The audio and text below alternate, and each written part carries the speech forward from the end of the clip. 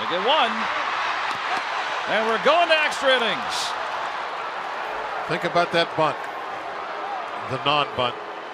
Jordy Mercer starts the double play. Great play. Uh, great double play also. That was.